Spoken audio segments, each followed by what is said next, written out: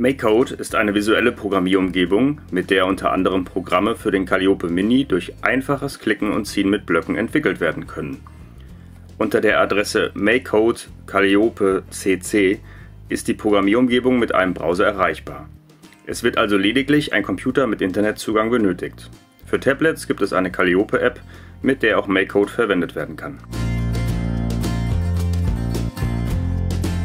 Schauen wir uns die Programmierumgebung einmal genauer an. Ganz links befindet sich der Simulator. Er zeigt quasi eine Vorschau des programmierten Algorithmus. Man kann ihn in den Vollbildmodus schalten oder ganz ausblenden.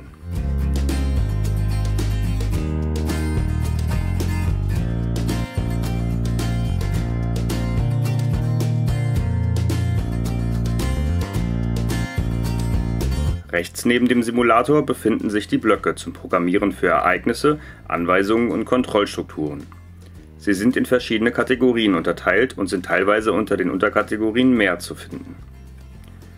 Rechts auf der Seite befindet sich der große Bereich zum Programmieren. Die Blöcke werden durch Klicken und Ziehen aus den Kategorien zu einzelnen Skripts zusammengesetzt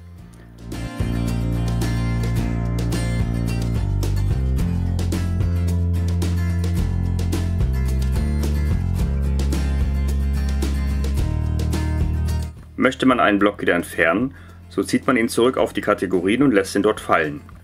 Auf welche Kategorie man ihn dabei fallen lässt, ist egal. Der gesamte Kategoriebereich wird zum Papierkorb. Möchte man das Programm auf den Calliope Mini übertragen, muss es zunächst heruntergeladen werden. Am unteren Rand befindet sich der Button dazu.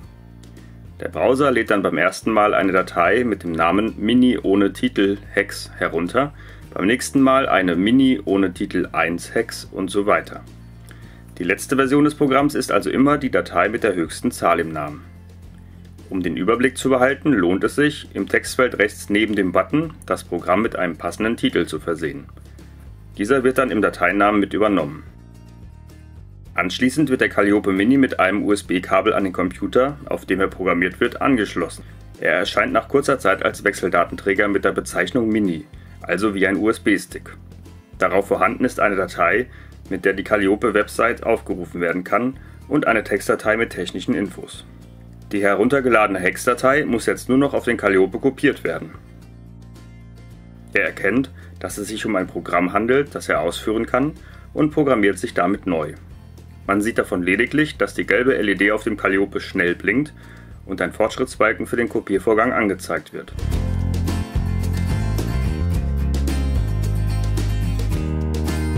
Nach erfolgreicher Programmierung verschwindet das Laufwerk vom Calliope und erscheint automatisch neu. Hat alles geklappt, führt der Calliope nun genau das gleiche Programm aus, das man im Simulator sehen konnte. Ein Tipp. Es ist besser, die Hex-Datei nicht direkt auf dem Calliope herunterzuladen, was problemlos möglich wäre. Man kann die Datei so später wieder in MakeCode hochladen und erhält dann sämtliche Blöcke wieder rekonstruiert.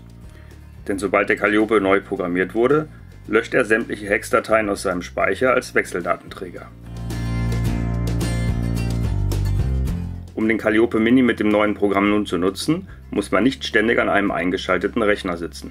Die Stromversorgung ist nicht nur über den USB-Anschluss, sondern mit der mitgelieferten Batteriebox auch über den Anschluss rechts unten möglich.